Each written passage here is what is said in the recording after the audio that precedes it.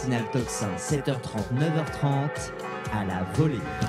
Et je suis très heureuse de recevoir aujourd'hui à la volée Frédéric Tadei. Bonjour Frédéric Tadei. Bonjour. Et merci beaucoup d'être avec nous euh, ce matin. On vous connaît plutôt sur le, sur le soir, donc euh, on est vraiment très honoré de, de, vous avoir un matin. Vous êtes euh, animateur sur Europe 1 aujourd'hui et sur MyLi Media, donc plateforme de podcast. On pourra revenir un peu sur la nouvelle formule podcast, YouTube et tout ça qui, qui se développe justement autour des, de la presse. Co-éditeur des Birthday Books. les Birthday Books, c'est donc une série de livres que je vais vous présenter ici qui commence euh, de 15 ans jusqu'à aujourd'hui 50 ans, mais vous allez continuer la série plus loin. Moi, j'ai choisi 33 euh, ans, euh, l'âge de la mort de Christ, et puis il y a eu beaucoup de morts intéressantes d'ailleurs, mais bon, c'est pas très joyeux. 40 ans, 50 ans, on va y revenir, c'est, mais c'est une approche assez, vraiment assez intéressante. Franchement, je m'y attendais pas en commandant le livre. d'association d'abord, et de voir des personnages bien connus à travers leur âge et non à travers une date. Et je vais commencer pour donner une idée un peu à, nos auditeurs par, par vous citer, citer votre préface de la 40 ans. Et là, on va voir les associations un peu rigolotes. Alors, plusieurs siècles les séparent, mais Christophe Colomb, Blanche de Cassis, Daniel Day-Lewis, euh, Simone de Beauvoir et Bill Gates, mais ils ont ici 40 ans tous les cinq. Le premier découvre l'Amérique, sa voisine gouverne la France, le troisième arrête le cinéma pour être cordonnier, la suivante écrit le deuxième sexe et le dernier devient l'homme le plus riche du monde. Voilà, donc des associations, c'est vrai, qui, rendent l'histoire, euh, qui ouvrent un nouveau pan de l'histoire finalement. Moi, au début, je m'étais dit, je vais faire le cadeau, je vais imaginer le cadeau d'anniversaire idéal. C'est-à-dire que vous avez 33 euh, ans et on vous offre 33 euh, ans, tout ce que les gens célèbrent ont fait, ou ah n'ont pas fait d'ailleurs, ou ont raté à votre âge. On va en parler. Je me suis dit, c'est, voilà, j'aurais adoré avoir ça mmh. à 33 ans, ou à 20 ans, ou à 15 ans, et, m'apercevoir qu'ils n'ont pas tout réussi, comme on essaie de nous le faire croire, et qu'ils ne sont pas forcément les mêmes à 33 ans que ceux qu'on connaît aujourd'hui à, 65, si vous voulez. Tout à fait. Et, euh, et puis après, en le faisant, je me suis aperçu effectivement que l'âge, c'était l'angle mort de l'histoire et qu'on nous dit les dates, mais on ne nous dit pas les âges. Et, les dates, c'est important sur le plan historique, évidemment, euh, mais à l'échelle humaine, ce sont les âges qui sont les plus intéressants parce que tout à coup, ça nous rend tous ces gens-là, le Christ comme, euh, comme Napoléon ou, euh, ou comme Daniel Day-Lewis, ça nous les rend beaucoup plus familiers. Mmh. Parce qu'on sait ce que c'est que d'avoir 33 ans, en tout cas ceux qui l'ont eu, ou on se le représente pour ceux qui ne les ont pas encore. On rentre un petit peu finalement euh, dans leur intimité, et euh, on en parlait déjà un petit peu hors émission. Euh, moi, ça m'a fait beaucoup penser à la préface de Svetlana Alexievitch dans son livre La guerre n'a pas un visage de femme. je précise hein, pour tous que, que c'est une enquête de cette très bonne journaliste qui écrit, journaliste écrivain, qui a écrit ce livre sur la Seconde Guerre mondiale, qui a recueilli énormément de témoignages de femmes, et on voit la guerre d'une autre manière, où elle raconte justement le ressenti de ces femmes qui ont été sur le front, qui ont été à l'arrière-front, et qui racontent leur guerre et non pas la guerre selon les dates, etc. Et euh, je crois que c'était un bouleversement aussi dans, dans, dans l'histoire, tout simplement, de prendre en compte cette guerre-là, cette guerre des, des femmes, du front, etc. Et finalement, pas vous dire que vous avez écrit un livre de femmes. je l'ai pas, je l'ai pas écrit au sens où c'est pas de la littérature, mais mais euh, mais il y a beaucoup de femmes. Par exemple, vous avez cité Blanche de Castille. Euh, on, on, essaie de nous faire croire que la, France n'a jamais été gouvernée par les femmes, à part par Édith Cresson et, Elisabeth Borne, si tant est que l'une et l'autre ont véritablement gouverné la France. Elles avaient un président de la République au-dessus d'elles. Mais des femmes ont gouverné la France, et je le raconte minutieusement. La première, euh, c'est Anne de Beaujeu, à 22 ans. Elle gouverne la France en attendant que son petit frère soit majeur et elle va la gouverner pendant 8 ans, de 22 mmh. à 30 ans. C'est une très jeune femme qui, en plus, est la première, donc euh, doit s'affirmer.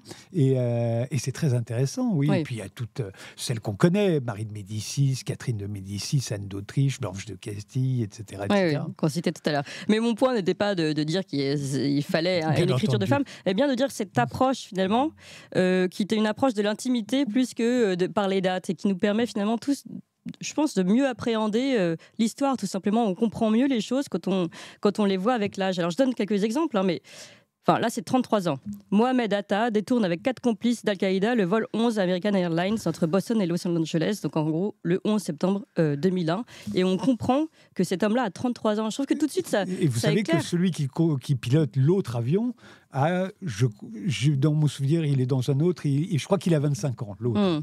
dont on ne connaît pas le nom ou qu'on a oublié. Très jeune. Euh, c'est des âges très jeunes. Vous savez, là, récemment, euh, il y a ce type de 20 ans qui a tiré sur Donald Trump et qui l'a loupé. Euh, tout le monde a dit, vous vous rendez compte qu'il a 20 ans c'est normal. Si vous lisez les birthday books, vous apercevez que tous les assassins politiques sont très jeunes. Charlotte Corday a, 24 ans. Lee Harvey Oswald, 24 ans. le plus jeune, c'est Principe qui tue l'archiduc euh, d'Autriche à Sarajevo, et qui, qui déclenche la, la, Première Guerre mondiale, il a 19 ans. Ça. Si vous voulez, c'est un âge où on fait ce genre de choses. Évidemment. Vous en trouvez très très peu. On n'est pas sérieux quand on a 17 ans. Non, mais vous en trouvez très peu de 50 ou 60 ans qui sont prêts à aller risquer leur peau pour éliminer quelqu'un. C'est bizarre. Hein. Bah, on pourrait croire le contraire. On pourrait se dire, bah, 60 ans, on n'a plus rien à perdre. Hmm. Bah, c'est à 20 ans qu'on le fait. Oui, bah, c'est la fougue de la jeunesse. Mais on, on peut l'expliquer comme on veut. Moi, ce qui m'intéresse dans ces, c'est qu'il y a une force de l'âge, il y a un, hmm. une potentialité, et vous pouvez trouver des liens entre tous ces gens-là qui ont 33 ans, même euh, dans le, dans le même livre, pas au même moment, mais dans le même livre, et vous apercevoir qu'il y a effectivement des liens. Alors, il y a des liens, je vais en trouver, je vais vous en donner juste après, mais je, je donne juste comme ça. Alors ça, c'était la partie déprimante, parce que quand même, il faut le dire, il y a par moments un peu déprimant. Alors, Michel-Ange, hein, 33 ans, commence à peindre le plafond de la chapelle Sixtine. Alors, pour nous remonter le moral, vous dites qu'il va prendre 4 ans, comme ça, il a un peu ça plus 4 ans, mais surtout, le plus drôle, ce qu'on a oublié, c'est qu'au moment où il commence, c'est un sculpteur, Michel-Ange. Il se considère pas du tout comme un peintre, et il va peindre ça quasiment seul. Vous voyez mais euh, c'est intéressant, ça aussi, c'est vrai. Vous dites Stanley Kubrick sur Lolita, c'est déjà son sixième film. Sixième film, à 33 ans. Donc là, c'est pour la partie franchement déprimante. Alors, il y a des moins déprimantes, et je vais quand même le donner pour qu'on soit... C'est un peu une émission joyeuse ici. Et c'est intéressant de, les avoir mis à côté, évidemment. Euh, ce sont euh, les maîtresses de dictateurs euh, qui meurent au même âge. Alors, la maîtresse de Benito Mussolini, Clara Petacci, alors depuis 13 ans, dites-vous, elle est arrêtée avec lui par des partisans communistes, alors qu'il tente de gagner la Suisse avec une mallette d'argent liquide et des bijoux de famille de la jeune femme. Ils sont conduits devant le peloton d'exécution. Celle-ci se jette devant Mussolini en criant Vous ne pouvez pas faire ça Et elle meurt fauchée par une rafale de mitraillettes. Leurs cadavres sont exposés le lendemain devant la foule pendue par les pieds. Et alors, vous mettez juste en dessous Eva Braun, la maîtresse d'Adolf Hitler, qui a aussi 33 ans. Euh, vous dites depuis 13 ans, c'est l'épouse euh, donc qui finit dans le bunker alors que l'armée russe est dans, euh, Berlin et finalement elle décide de se suicider avec Hitler. Hitler ayant vu les photos du cadavre de Mussolini livré à la foule, donc on voit le lien, il a donné l'ordre que leur corps soit aspergé d'essence et brûlé. Donc c'est finalement 33 ans, c'est pas que... Mais il y a un autre lien entre les deux, puisque les deux sont les maîtresses ah euh, de, des, deux grands dictateurs euh, de cette époque-là, liés évidemment par la même euh, par le, pacte, le même mm. pacte et la même idéologie. Et, c'est vrai que c'est une coïncidence.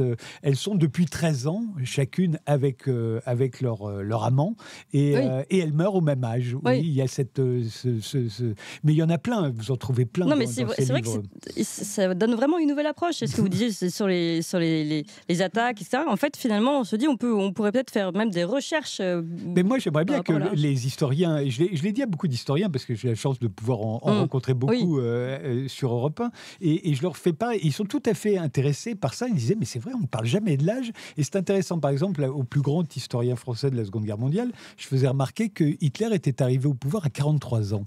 43 ans, c'est très jeune. Vous savez, Emmanuel Macron a 46 ans aujourd'hui. Oui. 43 ans, c'est l'âge auquel John Kennedy arrive au pouvoir aux États-Unis et c'est le plus jeune président de l'histoire des États-Unis. Donc Hitler arrive au pouvoir à l'âge du plus jeune président, des États-Unis. Il, est, il arrive au pouvoir à l'âge de Tony Blair. Il arrive au pouvoir à l'âge de Justin Trudeau. Mmh. Les plus grands démocrates. Ça, on peut, on peut en discuter, mais je veux dire, par là, ce sont des gens considérés pour leur jeunesse, Hitler arrive au pouvoir jeune. On l'a complètement oublié parce qu'il vieillit prématurément. Et, euh, et, Mussolini arrive au pouvoir encore plus jeune. Mm. Et, euh, et, ce sont les, au fond les deux plus jeunes à l'époque euh, dirigeants de pays européens. les autres ont l'air vieux à côté, mm. avec des, des, cols compassés, des vieux cols durs, etc. mais c'est même très intéressant ce que vous dites parce que maintenant les commentaires qui encensent le, le jeunisme, on va dire, de nos présidents ou de nos élus, on, on pourrait leur rappeler maintenant grâce à vos que bon, le jeunisme n'a pas toujours eu bonne figure. Absolument. Et vous pouvez dire d'ailleurs qu'en démocratie, on les électeurs préfèrent les, gens vieux. Hein. C'est assez rare d'arriver, mm. en tout cas par les voies légales, au pouvoir jeune. Si vous voulez arriver au pouvoir jeune, il vaut mieux le prendre, le pouvoir. Hein. C'est euh, Kadhafi à 27 ans, c'est euh, Castro à 33. À 33 ans, Castro prend le pouvoir et il va le garder mais plus d'un demi-siècle. Hein. Mmh. Alors, il y en a un que j'ai trouvé aussi, euh, c'est intéressant, c'est sur les claps de fin. Lance Armstrong, 40 ans, reconnu coupable de dopage. Euh, bah alors là, je ne sais pas pourquoi vous l'avez mise, Roselyne Bachelot, pharmacienne à 40 ans. Oui, c'est intéressant. Pour dire qu'elle n'était que pharmacienne. Elle n'était pas encore euh, ni députée, et encore moins ministre. Oui, oui. Et on s'aperçoit dans, dans, dans, ces livres qu'il y a des tas de gens, on croit qu'ils ont toujours fait la même chose. On croit qu'ils ont réussi, entre guillemets, jeunes. Non, pas du tout. Roselyne Bachelot, elle a une vie tout à fait normale. et puis un jour, elle se fait élire députée. Mais c'est pas à 30 ans. C'est à, ben, je sais plus à quel âge, mais c'est bien plus tard. Et alors, je vais en donner un autre parce que ça me fait plaisir.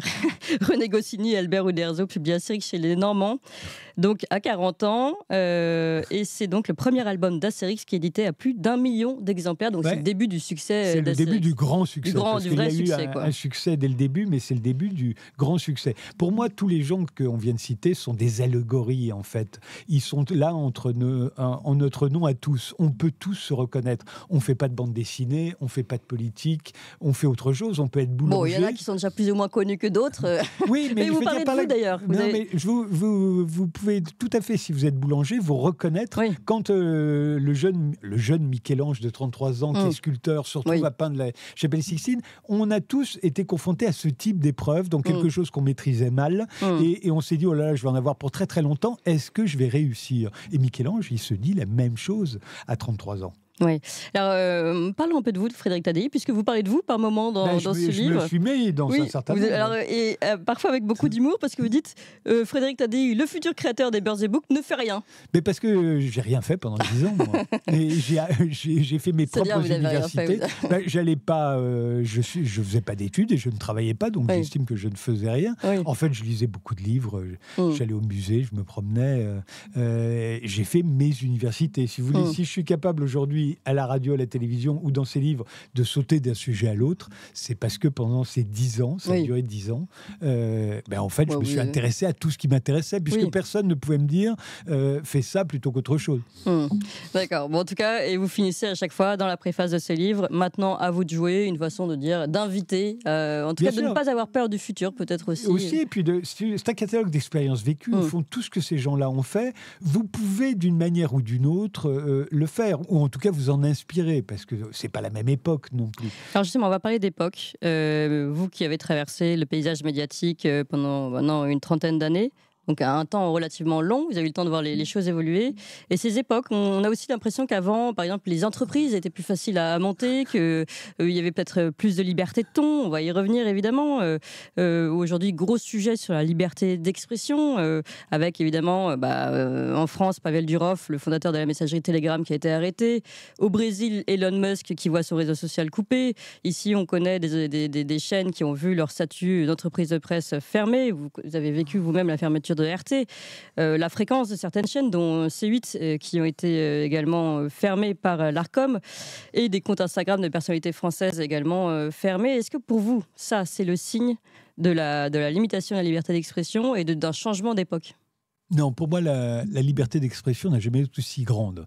Alors, c'est difficile à. Alors, oui, il va falloir vous expliquer. Euh, mais, tout simplement parce que vous en êtes la preuve vivante. Euh, vous êtes là, euh, ça s'appelle Toxin. À vrai dire, je ne regarde rien, je n'écoute rien, donc je ne sais même pas ce que vous défendez comme mm. point de vue.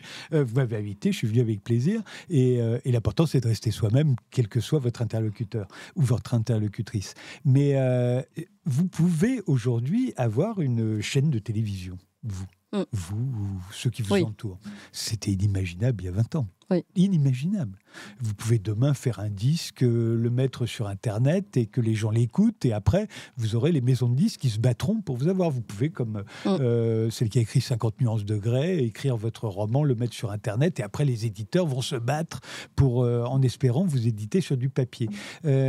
chacun peut répondre, lancer des débats, intervenir dans le débat grâce à un certain nombre de, plus de, la même manière. Mais ça n'était jamais arrivé. Mm. Aujourd'hui, nous sommes, je l'ai dit à Canal+, je me souviens en 94, 95, j'ai annoncé qu'on allait tous devenir émetteurs. Parce que c'était le début eh d'Internet et je, suis le premier à avoir montré Internet à la télévision. Ce qu'on voyait à l'époque, et franchement, c'était pas ragoûtant. Hein, ce qu'on voyait sur Internet, c'était en noir et blanc, ça bougeait pas, il n'y avait pas d'image euh, euh, mouvante. J'entends, il y avait des images fixes. Et j'ai expliqué, grâce à ça, on va tous devenir émetteurs. Et ça va être une révolution considérable. Alors ça a ouvert des perspectives hallucinantes dans tous les domaines. Euh, on est tous émetteurs. À partir de ce moment-là, le pouvoir, parce qu'il n'y a plus de hiérarchie, il n'y a plus, il y a plus quelqu'un qui vous empêche de vous exprimer comme bah, autrefois. Il y a, mais il y a concurrence, on va dire, de, de, de, non, mais ils peuvent Pas, ils essayent, ils essayent, mais c'est pas possible. Ils aimeraient bien, ils aimeraient bien gouverner Internet, ils aimeraient bien mettre un ministère de ah la vérité. Tirer Breton euh, sur, euh, sur ce qui se passe dans les médias numériques, euh, et puis on voit bien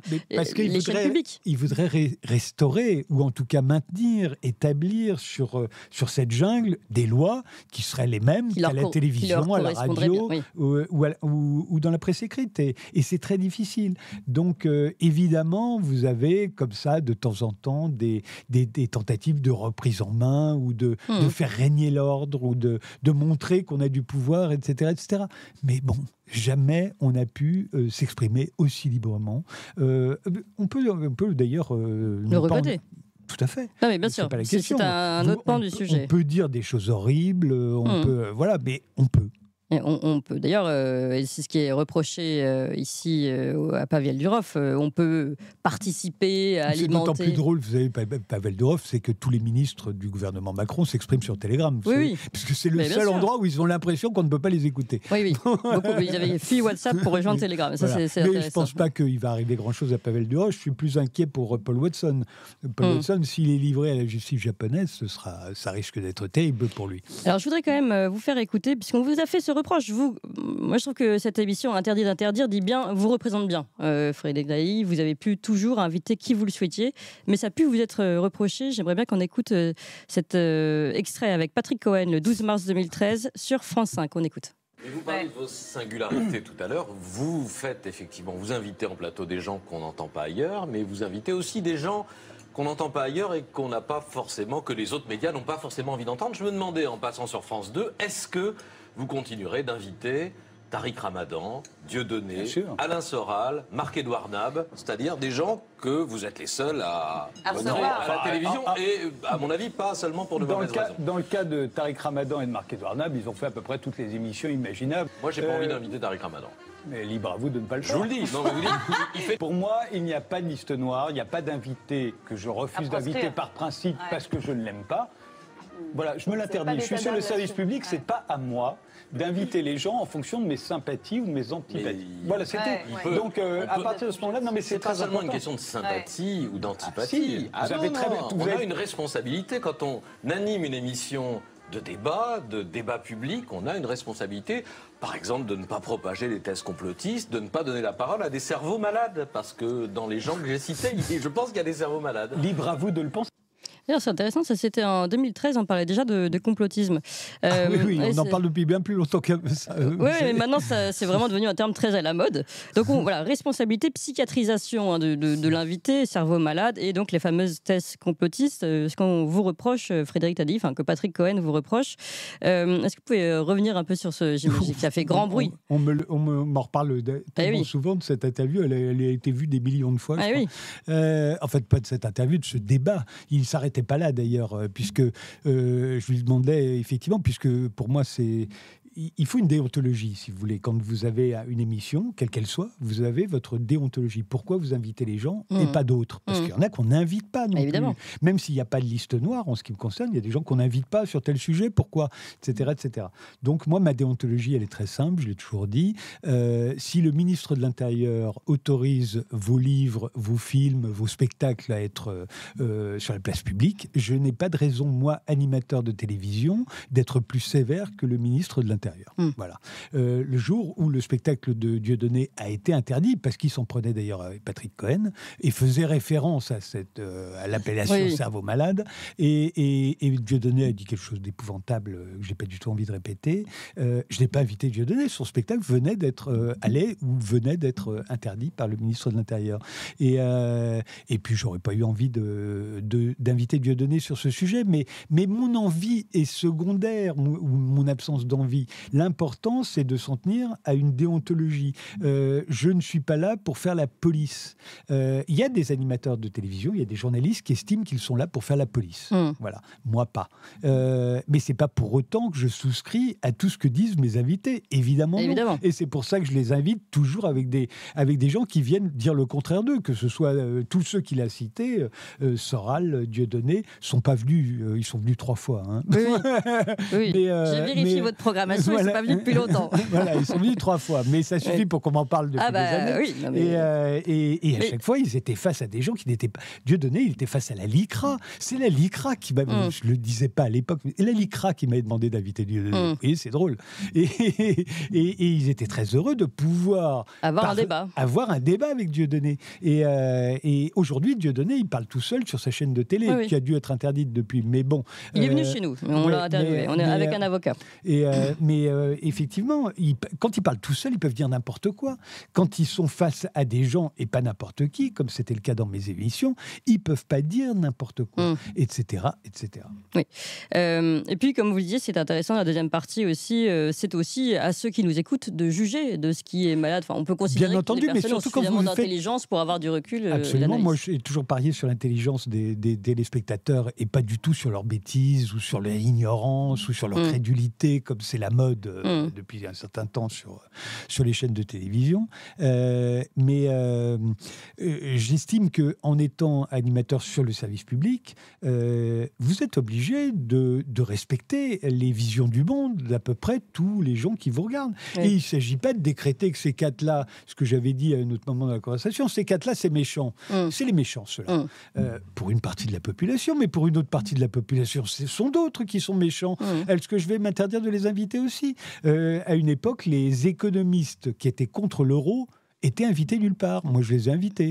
Voilà. Et puis après, quand il y a eu la crise de l'euro, euh, euh, non. Et puis quand il y a eu la crise de l'euro, on était bien content de savoir qu'il y avait des économistes qui, depuis un moment, disaient déjà euh, il y a des problèmes avec l'euro, etc. C'est pas parce que je suis anti-euro que je les ai invités. Je suis pas du tout anti-euro, mm. mais ça me semblait intéressant de les entendre. Et puis surtout parce que je crois que un débat ne vous fait pas changer d'avis. Mais quand un débat est bien fait, et si vous avez invité les bonnes personnes, vous comprenez là où est le problème. Exactement. C'est-à-dire, et ça déjà, c'est un progrès en fait, énorme. En fait, euh, on va revenir sur ce mot de complotisme. Si on n'invite pas les gens pour leur donner leur argument et opposer des contre-arguments, ou pourquoi pas tout simplement un débat sensé, euh, on, alimente ce, complotisme qui finalement n'est que. C'est un problème que j'avais soulevé, et, d'ailleurs, euh, ça m'a été aussi reproché. j'avais fait un débat un jour pour savoir si les thèses complotistes concernant le 11 septembre qu'on voyait fleurir euh, considérablement sur Internet, est-ce qu'il fallait leur donner un écho sur les chaînes traditionnelles À l'époque, il n'y avait pas de télé sur Internet, mais il y avait déjà euh, euh, beaucoup de débats sur Internet. Et en posant cette question, ce jour-là, il se trouve qu'il y a sur mon plateau Mathieu Kassovitz, et c'est totalement un hasard, qui lui pense qu'il a, il a un doute sur la mmh. version officielle du 11 septembre. Et ça donne un débat très intéressant d'ailleurs, parce qu'en face de Kassovitz, il n'y a pas n'importe qui. Il y a Ismaël Kadaré, il y a mmh. Sixous, il y a Marine Karmitz qui lui disent qu'il est complètement fou, qu'il a tort. Et ça s'arrête là. Mais le lendemain, c'est un c'est-à-dire que tous les journalistes viennent me dire Mais comment j'ai pu laisser parler Kassovitz? Je leur ai expliqué qu'il n'y avait pas de loi qui interdisait d'être complotiste. Oui, mais donc vous voyez bien que tout de même qu'à chaque fois on vous le reproche, vous dites liberté d'expression. Bien sûr qu'on me l'a toujours reproché, mais toujours, mais des journalistes me le reprochaient, jamais les gens. Ni, ah les, ni les, politiques, ni les dirigeants de France Télévisions de l'époque, ni hmm. jamais, ni, les, ni évidemment les téléspectateurs. Ce ne sont que les ah, journalistes. Ça, sûr, les téléspectateurs. Les, euh, journalistes, ils, ont une tendance euh, à vouloir faire la police. À faire la police. Et, bien sûr, mais parce que vous savez bien pourquoi. Les journalistes, autrefois, avaient le monopole de l'information en France. Ils l'ont perdu. Mm. Ils l'ont perdu en deux temps. D'abord, en 1991, pendant l'attaque de Bagdad, euh, ou les bombardements de Bagdad pendant la guerre du Golfe, apparaît CNN. Tout à coup, les Français découvrent qu'il y a d'autres chaînes que les chaînes françaises, qu'il y a d'autres journalistes que les journalistes français, et qu'il y a notamment un journaliste à Bagdad qui et, et à la fin, on ne regarde plus que CNN. Mmh. Et là, mmh. c'est un gros coup pour les Français. Mmh. Très gros coup qui était là à jouer les, jouer les, vous voyez, les, les, embedded, etc. Et pof, ils sont pas à Bagdad, malheureusement. Bon, premier coup. Deuxième coup, Internet, tout le monde devient émetteur. Et là, évidemment, euh, le journaliste se rend compte qu'il n'est plus le seul à produire de l'information. Alors, il, va essayer de dévaloriser l'information produite aussi bien par les journalistes étrangers, CNN, RT, Al Jazeera, c'est de la propagande, c'est pas du journalisme. Et puis, il va chercher à déconsidérer les informations. Ils ne sont pas tous. Euh, CNN n'a pas été interdit, Al Jazeera non, mais ça plus. RT, pour, oui. Pour les, journalistes français, mm. CNN faisait la propagande mm. des Américains américain pendant la guerre du Golfe. Hmm. Ce qui n'est pas forcément faux d'ailleurs. Enfin, de penser que les Français, de penser que les journalistes français ne font pas la propagande hmm. des Français euh, hmm. pendant la guerre au Mali, euh, vous voyez, c'est, euh, on tourne en rond. C'est-à-dire qu'ils font leur boulot de journalistes et, il se trouve qu'ils ont un prisme américain. Évidemment, ils ont leur prisme. Voilà, comme les, les, Russes de RT et les, et les journalistes d'Al Jazeera.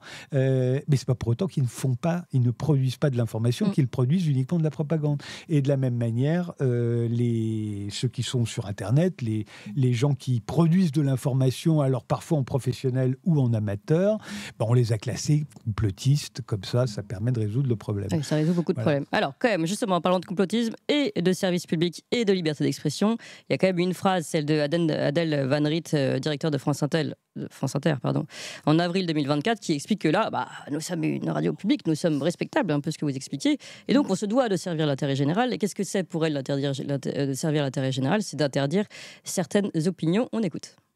En tant que service public, nous avons, il y a certaines valeurs qui sont toutes au service de l'intérêt général, puisque nous sommes une radio publique, donc on se doit de servir l'intérêt général. Dans le cadre de cette mission, euh, nous avons choisi, mais c'est Radio France, euh, en ce qui concerne par exemple le réchauffement climatique et la cause écologique, euh, de ne pas donner la, parole à des personnes qui contesteraient le fait même du réchauffement mm. climatique. C'est un engagement. C'est un engagement de Radio France au, nom d'une valeur qui est, à la hauteur de la mission qu'on doit accomplir. Oui, et même chose d'ailleurs à France Télévisions. Du black listing de personnes en particulier. Pense qu'on a pris les mêmes précautions pendant le Covid, évidemment. Évidemment. J'aime beaucoup le évidemment. Bah, évidemment, on a pris toutes les mêmes précautions. On a interdit tout euh, un pan de la population. Alors attention, hein, elle a quand même des valeurs. On, elle n'a pas interdit des personnalités, mais bien euh, de, on va dire, tout un courant de pensée.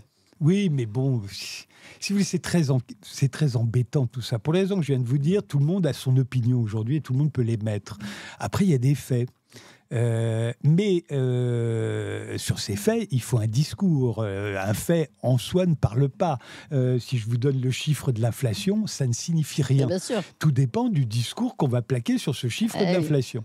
Et, là, ça devient compliqué. Alors c'est vrai, sur le Covid, ça a été extraordinaire. On a dit tout et n'importe mm. quoi. On nous avait obligé à, poser, à porter des masques pendant six mois en extérieur, alors qu'on savait pertinemment qu'on ne se contamine pas au Covid en extérieur. Mm c'est infinitésimal, on ne sait même pas si c'est arrivé une fois. Vous voyez, la hmm. plupart du temps, en extérieur, ça part. Et euh, mais on l'a fait quand même. Euh, et alors, on a expliqué que c'était pour des raisons d'urgence, de voilà, que c'était pour pour simplifier la vie des gens. Ils savent pas mettre leur masque, ils savent pas l'enlever. S'ils l'enlèvent, ils le mettent toute la journée. Euh, ça va pas être bien. Bon, tout ça, c'est n'importe quoi, évidemment. Mais en même temps, vous comprenez qu'ils jouent leur rôle. C'est ça que vous voulez dire? Et Oui, d'abord, ils sont dans leur rôle. Elle, elle est dans son rôle là et expliquer qu'il y a des règles. on sait bien que c'est n'importe quoi. Elle va la liberté d'expression Enfin, on sait depuis qu'il y a des gens qui ont été virés euh, pour, euh, pour tout ça, c'est n'importe quoi. Il y a des dogmes.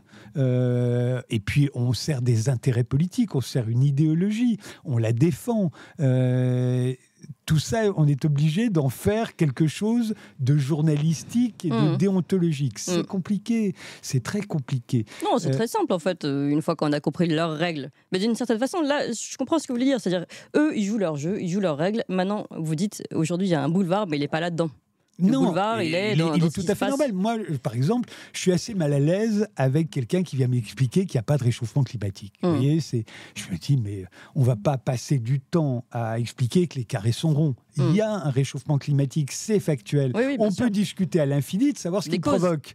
Voilà. Alors là, ça devient compliqué. Et effectivement, il y a des gens qui ne sont pas du tout des, des fous ni rien, qui vous disent qu'au fond, l'homme n'y est pas pour grand-chose on peut les écouter. Je suis incapable de savoir mmh. scientifiquement si ce qu'ils disent est juste ou pas. Euh, je m'aperçois qu'il y a des gens sérieux qui tiennent ce langage-là et qu'on peut peut-être l'entendre. Il ne faut pas non plus l'entendre trop parce que sinon on ne fait plus rien. On se dit, bon, bah alors c'est même pas la peine, on va continuer à balancer du CO2 dans l'atmosphère euh, puisque c'est pas nous. Euh, ça, c'est une responsabilité. Vous voyez, on est obligé de se poser les questions. Et c'est vrai sur à peu près tous les sujets. Euh, en économie, euh, est-ce que la dette, 3 000 milliards de dettes, est-ce que c'est supportable? Est-ce que c'est grave? Est-ce que c'est grave Je suis incapable de vous le dire. Mm. Donc j'écoute des gens sérieux. Bah, enfin, si on écoute Bruno Le Maire, bon. Non, mais on peut écouter Bruno Le Maire et puis on peut écouter Jacques Généreux mm. ou je ne sais pas qui. Et moi, c'est pour ça que je préfère les débats si vous voulez. Parce qu'au moins, dans les débats, vous les avez tous les deux. Vous comprenez et, vous, ne pensez pas, alors justement, intéressant, euh, vous avez toujours organisé des débats, toujours plusieurs personnalités venues d'horizons complètement différents. Est-ce que vous arrivez encore à faire de, véritables débats? Est-ce que par exemple, si vous dites euh, quelqu'un, euh, vous, vous invitez quelqu'un qui n'est pas d'accord avec votre thèse, notamment sur le, réchauffement climatique, est-ce que euh, le, le, premier va pas dire oulala, là là, non, moi je ne veux pas me retrouver face à ce, genre de personnes aujourd'hui? Parce que je trouve que j'ai organisé des débats pendant neuf mois sur CNews l'année dernière. Ah oui, tout à fait. Et CNews, très gentiment, m'a dit carte blanche, fais ce que je veux, comme dans Ce soir ou jamais, vous invitez qui vous voulez, sur les sujets que vous voulez, etc. Ce que j'ai fait. Mm. Et euh, ça n'a pas du tout marché. Et euh, j'ai vidé la salle, comme on dit. Mm. Pourquoi? Je pense qu'aujourd'hui, ce sont les téléspectateurs qui pose problème. C'est-à-dire qu'à force du temps de ce soir ou jamais, vous n'aviez pas toutes ces, ces, chaînes de télé sur Internet et ailleurs. Aujourd'hui, si vous êtes un, complotiste, on va dire, hein, mm. euh, vous pensez que le 11 septembre, mm. euh, bah, vous étiez content d'entendre euh, Mathieu Kassovitz mm. sur le plateau de ce soir ou jamais qui disait, alors encore une fois, je m'y attendais pas, il l'avait jamais dit, mais et, tout à coup vous disiez, ah ben enfin quelqu'un qui dit comme moi. Et, ah oui, alors que maintenant il trouve... vous avez plus besoin. partout. Vous voyez, c'est-à-dire que c'est pas tellement les. Alors peut-être que les gens, les, les intellectuels n'ont plus envie de débattre, mais je crois pas. Je crois que ce sont les téléspectateurs qui ont envie d'être confortés, puisque leurs champions, qu'ils étaient obligés de supporter en train de débattre avec des adversaires dans l'émission Ce soir ou jamais, parce qu'il y avait que là qu'on les entendait, euh, eh ben, ils sont plus obligés de l'entendre débattre. Ils sont aujourd'hui, ils peuvent l'entendre toute la journée, et euh, donc je crois qu'ils n'ont plus envie de débat. Mais c'est parce que ce ne sont pas les mêmes en fait, Frédéric Tadei. Je pense que ceux qui vous, vous écoutez à ce moment-là sont déjà partis sur les réseaux, eux, euh, podcast, YouTube, etc. Et ceux qui sont restés sur CNews sont peut-être une frange un peu plus installée, un peu plus bourgeoise. je ne sais pas, je ne fais pas d'enquête sur qui écoute ou qui regarde, mais je m'aperçois simplement que au fond, la manière d'entendre les gens au, euh, du temps de ce soir ou jamais, c'était le débat. Aujourd'hui, on peut les entendre sans contradicteur et que beaucoup, pas tous, mais beaucoup mm. de, de, téléspectateurs, d'auditeurs n'ont plus envie des contradicteurs. Ils les virent. Et, euh, et, et, ils ont envie juste que leur champion puisse parler tout seul pendant très longtemps. Tout à fait. Et on peut, euh, nous, pour le coup, je peux raconter un peu notre expérience ici. Euh, on essaye d'avoir une approche journalistique, mais quand on, a, on invite des personnes qui peuvent plaire à, on va dire, à une population qui est en attente euh, sur un certain sujet, quand on apporte la contradiction, ils nous en veulent aussi, opposition contrôlée ou autre. Donc finalement, on, ne satisfait personne dans cette histoire.